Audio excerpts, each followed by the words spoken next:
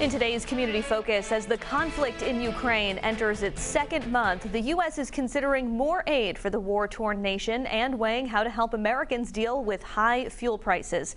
Joining us to talk about that and more, Massachusetts Congressman and former Marine Jake Auchincloss. Thank you so much for being here. It's good to be on. So I want to start with some news from just this afternoon. President Biden is now asking Congress to impose fees on oil and gas companies that are sitting on unused leased land in an effort to spur more domestic production of oil. As a green energy proponent, I mean, what do you think of this proposal?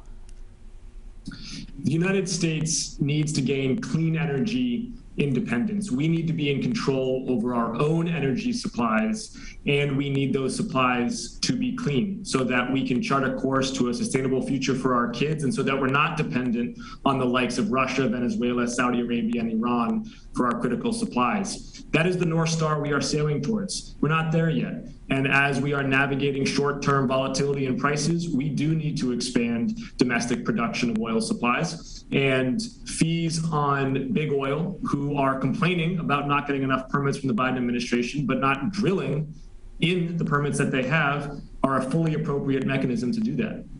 I want to talk about assistance for Ukraine. Congress has already passed $13.5 billion in emergency funding just earlier this month. The proposed DoD budget for fiscal year 2023 tops 770 billion. Do you think Congress has an appetite to spend even more here?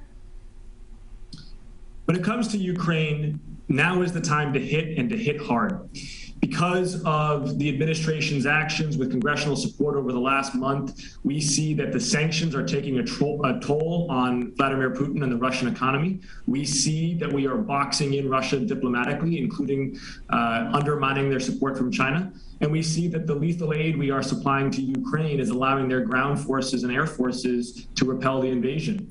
Because of that, Russian forces on the outskirts of Kiev over the next week to 10 days may well start to redeploy towards the east, where they've got a more secure base. And any ground force is most vulnerable when it's in transition. Their logistics and command and control nodes are easier to attack.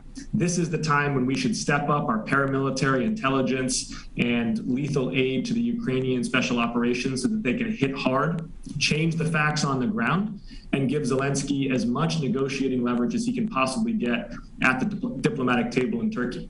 You, you, mentioned sanctions there briefly. You've introduced a new, a new, bill called Yachts for Ukraine Act. It would seize Russian oligarchs' yachts and other assets.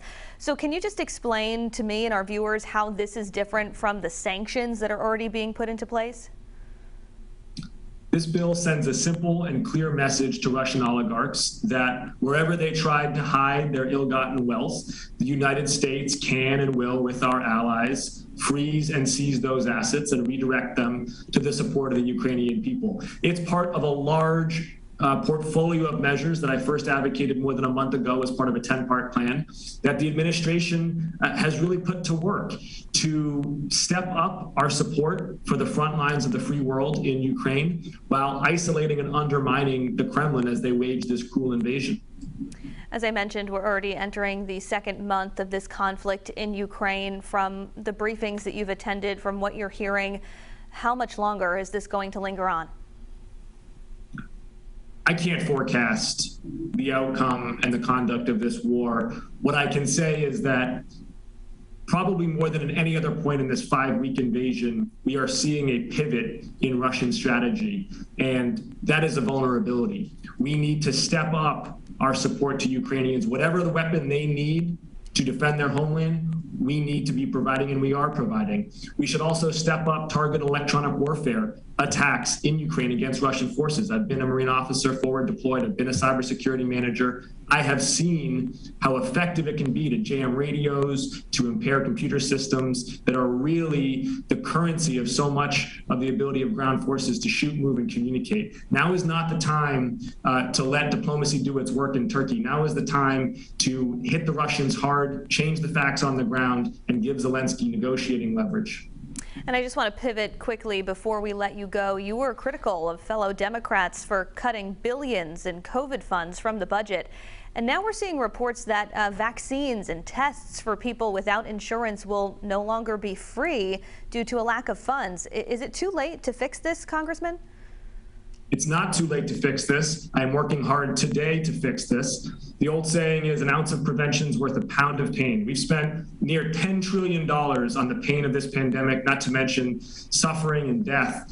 And yet there seems to be this recalcitrance to fund uh, relatively modest sums of money for research into universal coronavirus vaccine, for uh, procurement of life saving medical supplies and therapies, and for vaccinating developing nations overseas to help them uh, in their fight against COVID and to prevent future variants and surges from washing up on our shores.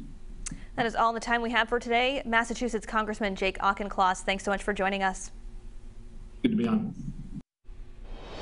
And looking ahead now to tomorrow when Mayor Jorge Elorza will join us for our monthly interview with him to talk all things Providence.